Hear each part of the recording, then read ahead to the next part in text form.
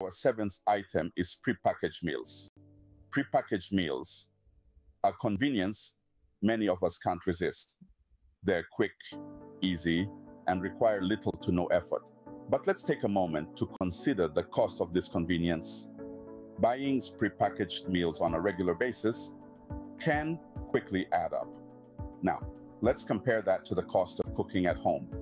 Buying your own ingredients and preparing meals at home is significantly cheaper than constantly buying prepackaged meals. It might be a bit more time consuming, but think about the potential savings.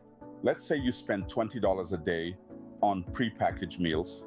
That's around $600 a month. Now, if you decide to cook at home, you might spend about $300 a month on groceries. That's a potential saving of about $300 a month or $3,600 a year. And it's not just about the money.